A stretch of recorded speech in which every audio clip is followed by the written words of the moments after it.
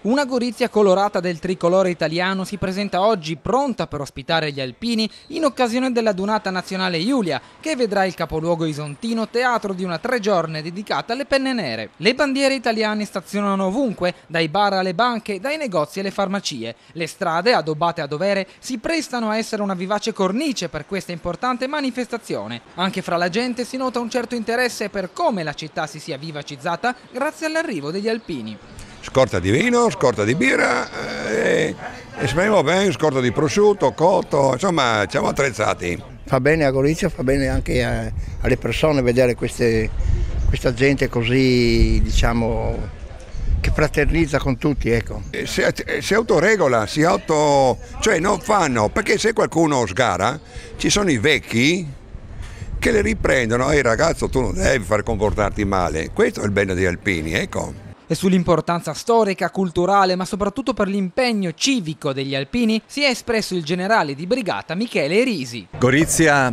è legata in modo forte alla storia della Giulia.